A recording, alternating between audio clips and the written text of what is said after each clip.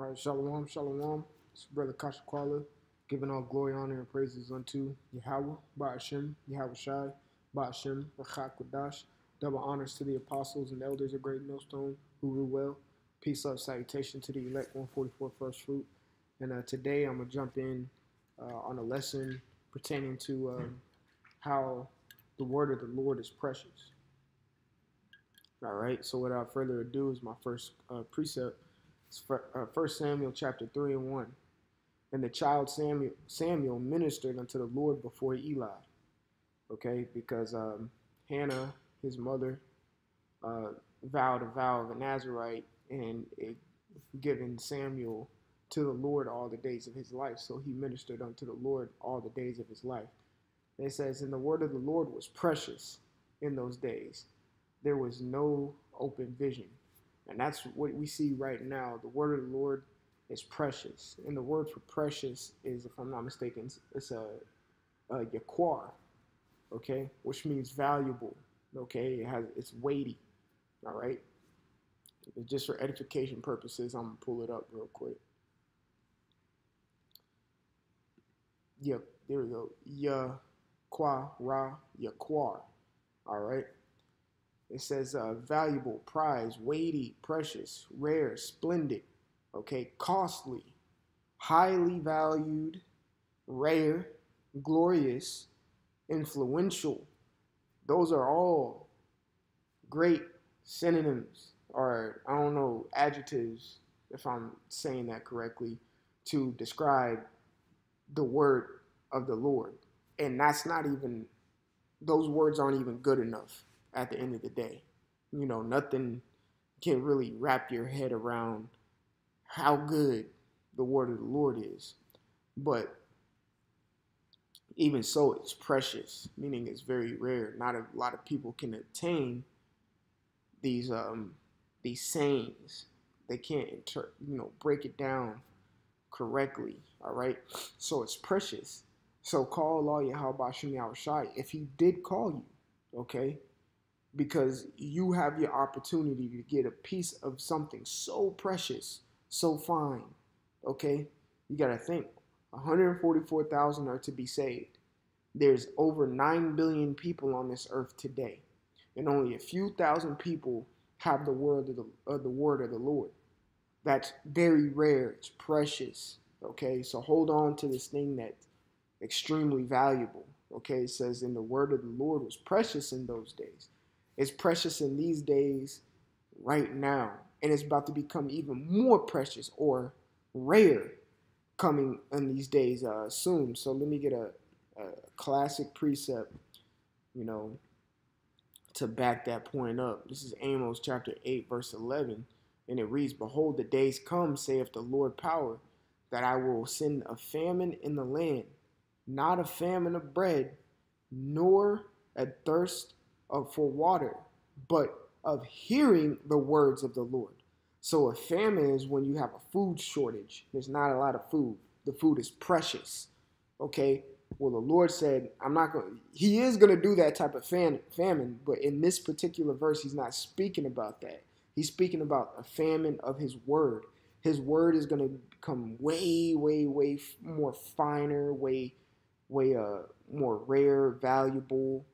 You know, um, it pretty much the word is going to be ducked off, as Jake liked to say it. Okay, and only a few select men are to have the understanding of his words and be instilled in, and the words are to be instilled inside those men okay very few all right and so again it says behold the days come saith the lord power that i will send a famine in the land not a famine of bread nor thirst of water but of hearing the words of the lord and they and they shall wander from sea to sea, and from north even to the uh, and from the north even to the east, and they shall run to and fro to seek the word of the Lord, and shall not find it, because it's going to be so rare.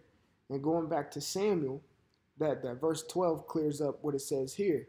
There was no open vision. All right. Amos 8 and 12, they're trying to find it. They're seeking, they're trying to seek the word. There will be no more open vision. The vision is open right now uh, uh, you know, starting from Apostle Tahar on down. You know, we could see it. Apostle Gabar always talks about us being seers.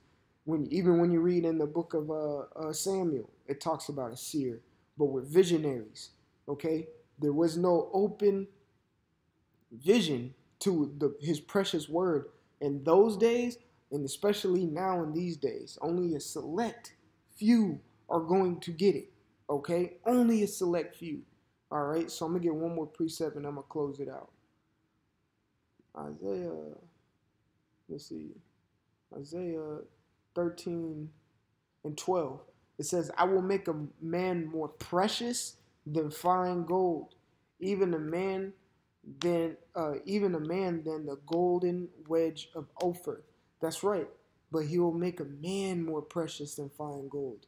So, you know, niggas who want to scoff and, and act like this thing is a game want to finally come back because they see shit popping off that that man who they scoffed against said, okay, that man who he's trying to seek for will be more precious than fine gold. It's hard to find some gold, okay? It's hard to find gold. That's why the gold, like, purchasing gold is so expensive. It's very rare. It's precious, okay? All right, I'll make a man more precious than fine gold. And what's more precious than fine gold? Like a ruby. Okay? All right, even a man than the golden wedge of Ophir. That's right. So all these niggas who claimed up and down that the men of the Lord are speaking some false shit or the men of the Lord who are out in the highways and byways doing their thing ain't the real men of the, you know, ain't the prophets. In the day when those men who were speaking what y'all was scoffing on and you try to seek for him, but can't find him, like it says in Amos 8 and 12. They're going to be way more precious than fine gold, man. And this word is going to be very stretched thin, okay? Okay? Some is so thin that you can't even see it, okay? Very precious, all right? So, you know, I just want to come with a quick lesson on how the word of the Lord is extremely precious and call all you how about Shai that we got it now. Instead, we don't have to be that uh, uh, that stat that's in uh, Psalm I think 110 and 3. It goes, um, in the day of the uh, the Lord, that in the day of the, of the power, of the people shall be willing. We we were willing before the Lord had to come down. You know what I'm saying? Before the the Edomites had to come down, we were willing before all this happened.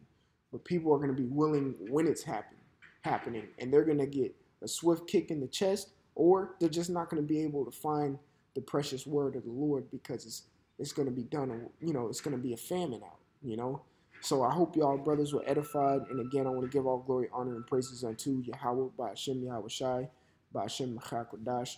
Double honors to the apostles and the elders of Great Millstone who were well. Peace, love, salutation to the elect 144 first fruit. It's Brother Kasha Quala. Until the next time, I want to say Shalom.